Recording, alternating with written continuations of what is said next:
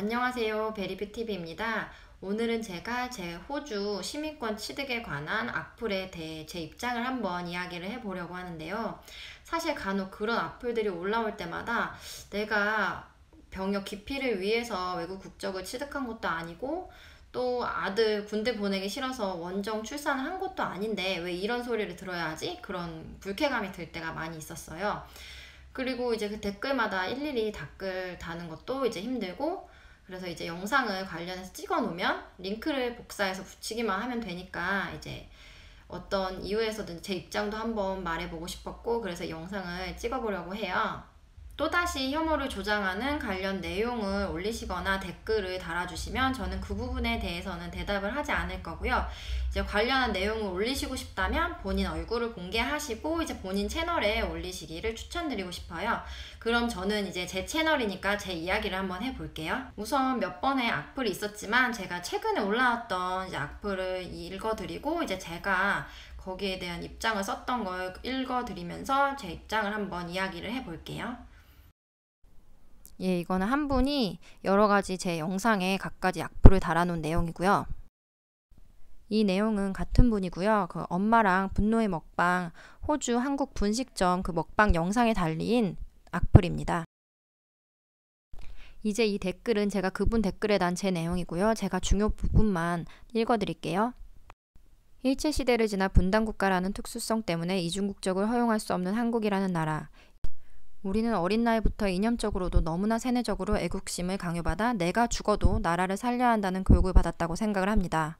IMF 때 근무오기 운동만 봐도 나라를 위한 일로만 보기엔 결국 국민들의 피고름을 짠 누군가의 이득을 위한 일이었죠.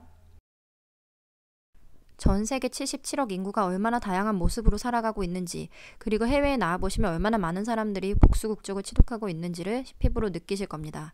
심지어 한국도 제한적으로 이중국적을 허용하는 부분도 있고요. 외국 시민권 취득자가 이완용 같이 나라 팔아먹은 매국노라는 논리는 제 사견으로는 굉장한 흑백 논리로밖에 들리지 않고요. 댓글과 더불어 만약에 제가 호주 국적을 취득했으니 어, 친선 경기에서 호주 국가를 부르고 호주를 응원했다면 그분은 저를 욕하지 않으셨을까요? 아니면 제가 한식은 안 먹지 않고 뭐 호주 음식만 주구장창 먹었다면 저를 욕하지 않으셨을까요?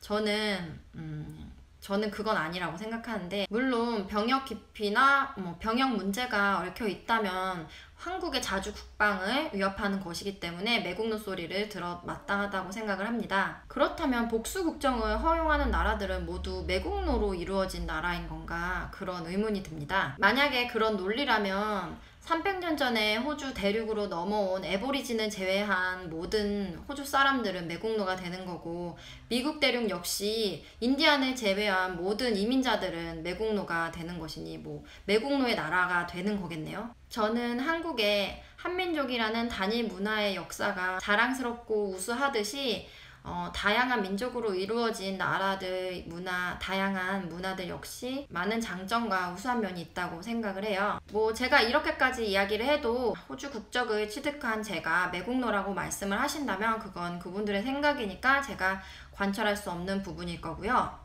음, 하지만 어쩌겠어요. 저는 한국에서 태어나고 누가 봐도 한국인이고 제가 호주에서 계속 살아서 70살이 된다 한들 누군가 Where are you from? 이라고 묻는다면 저의 대답은 죽을 때까지 I'm from South Korea 일 테니까요.